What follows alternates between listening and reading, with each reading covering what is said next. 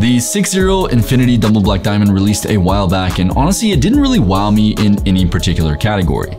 But instead of skipping it, as I tend to do with a lot of paddles that I receive, I figured I would take the time to be honest and explain why this paddle is underwhelming for me as a whole. Is it a bad paddle? No. It's honestly extremely hard to find an objectively bad paddle these days. So without further ado, let's dig straight into it. The Infinity Double Black Diamond comes in at a price of $220 and you can get 10% off using code STS Pickleball at checkout, making the price just 199 bucks. When I first received the Infinity Double Black Diamond, I have to say I was really into the design. The hand-painted white edges, the very contrasty and distinct printing of the graphics on the face, it all just really pops. I threw it in my swing weight and twist weight machine and honestly was expecting it to be lower in swing weight than it was. With a swing weight of 110 and a twist weight of 5.9, it does feel a bit more agile when comparing it to the original Double Black Diamond, but not by much. The original Double Black Diamond has a swing weight of just 114 with an edge guard. And the edge guard also comes with the perks of added stability due to the edge guard, giving the original Double Black Diamond a twist weight of 6.7, which is a pretty big difference stability wise and sweet spot wise. Having that weight around the edge from the edge guard is what adds that stability and sweet spot, which is often why you'll hear people saying that lead tape makes their paddle's sweet spot feel bigger. And that's because more weight towards the edges of the paddle makes the sweet spot larger and makes the paddle more stable, which totally makes sense. When we compare this also to the new Infinity Black Diamond Power version that was just released, we see an even more interesting story unfolding.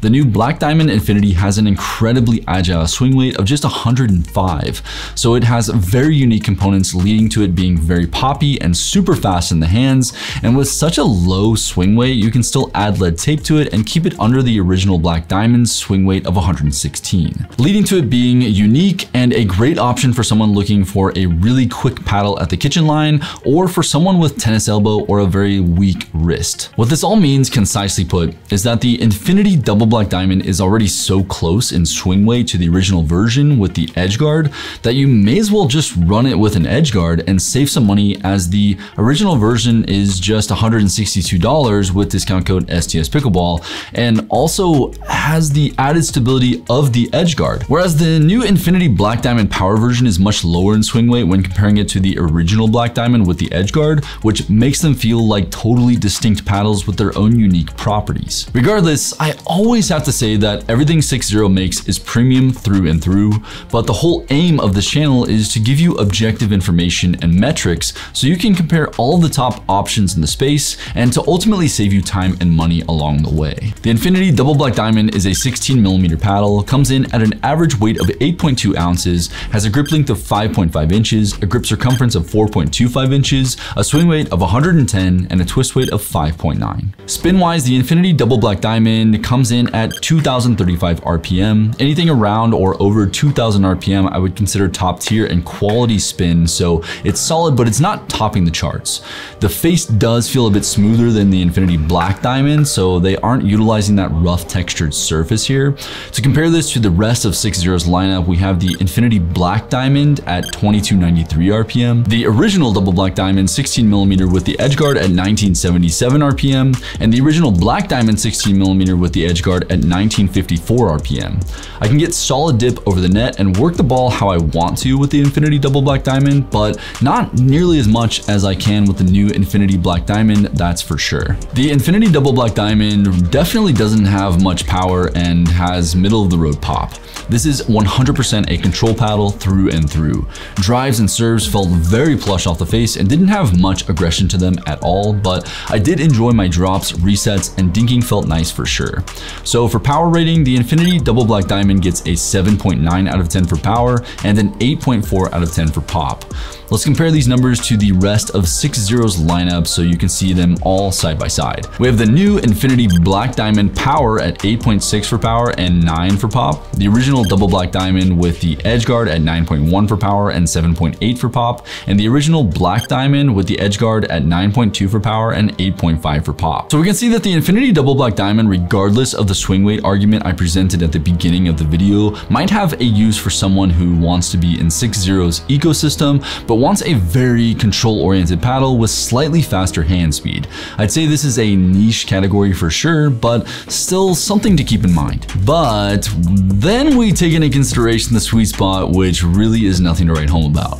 The new Infinity Black Diamond, however, that I reviewed just before this video has an objectively better sweet spot than this Infinity Double Black Diamond for sure. But again, both are edgeless and will be slightly limited by that, but I was rather surprised how good the sweet spot was on the Infinity Black Diamond version.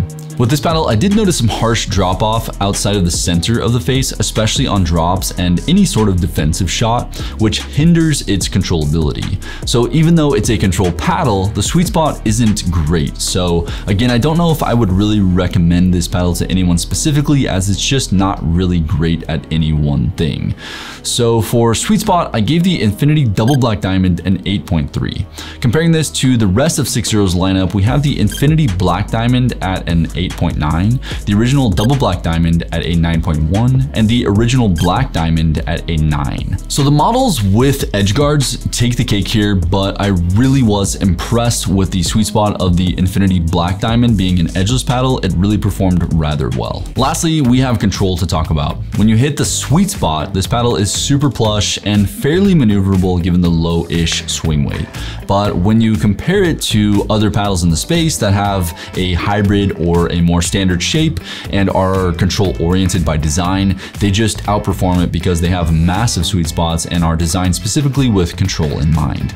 So again, this paddle just doesn't do any one thing particularly well. So for control, I gave the Infinity Double Black Diamond an 8.4 with strong consideration that you aren't going to be hitting the sweet spot every single time.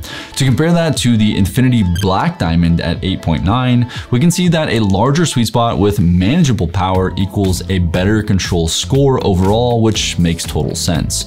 We also have the original double black diamond at 8.6 and the original black diamond at 8.5 for control. So again, for the price, if you want an all-core paddle, I would urge you to just save the 40 bucks and go with the original double black diamond. Or if you want a super fast in the hands paddle with manageable power and solid pop, I would grab the Infinity Black Diamond model. I have the Ruby review coming out soon. I wanted to take my time and really test it out for a while as it's the first full Kevlar paddle to hit the space. And I want you to have information over a longer period of time so you can make an informed decision of what to do with your hard-earned money.